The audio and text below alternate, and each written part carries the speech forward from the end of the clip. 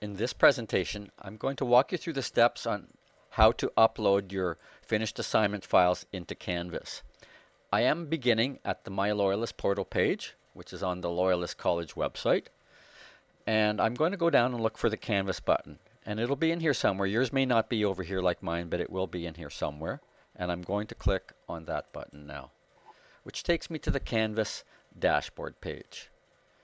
So here you will see a list of all your courses, and of course it won't look exactly like mine here, but you will see one called Computer Essentials, and that's the one we'll click on for my particular assignments. So let's click on that now.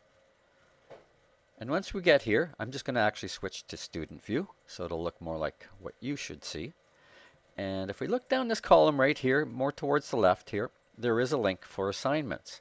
And I'm just going to ask you to click on Assignments, and that will bring you to the list of all of your assignments.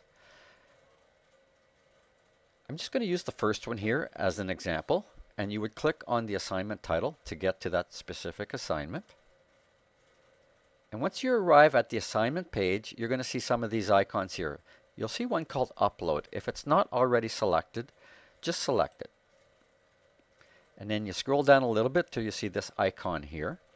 And this is where you will go and retrieve the file to submit to Canvas. So my files are on the OneDrive, so I'm going to use my example file that I have on my OneDrive. So I'm going to click on this icon here. And it may take a second or two, but it's going to pop up a search window. And I can see the link to my OneDrive right here. And all of my courses are inside Spring Semester 2024, so I'll double click that. And it is inside of Computer Essentials that I have the file that I wish to upload. So I'm going to double click that folder icon as well. And finally, I'm at the file that I wish to upload. It's just a test file that I'm using here right now. And we select it, and then we click Open. And you'll see a progress bar, and then finally a green check mark. And that means that you successfully uploaded the file, and the name of the file should be over here. Okay. If for some reason you change your mind and you want to choose a different file, at this stage, you could delete it and just click on here again and repeat the process. But I've uploaded the file, so let me just scroll down here and just show you the last step, very importantly, is to click Submit Assignment. Once that's done, you'll get a feedback that it's submitted.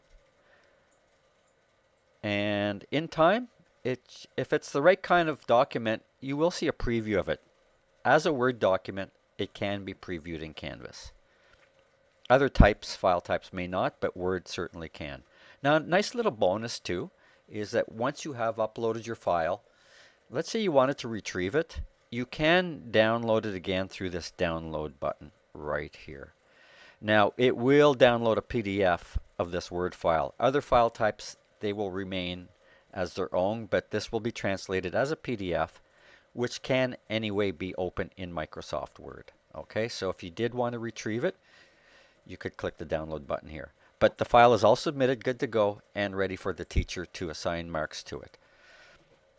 So again, if you wanted to, let's say you changed your mind an hour later and you wanted to submit a different file, there is a new attempt button right here, and that will just be submitted as well, and it will show up as the latest file from the teacher's uh, vantage point.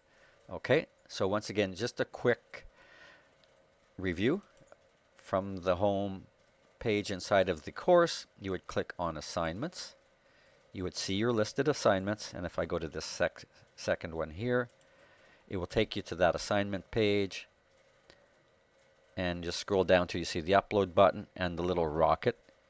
You click on the little rocket, it's going to pop open a search window. And again, it may take a couple of seconds and go and retrieve the file that you wish. I'm going to click cancel here. But that, again, is how you can submit your files online into Canvas.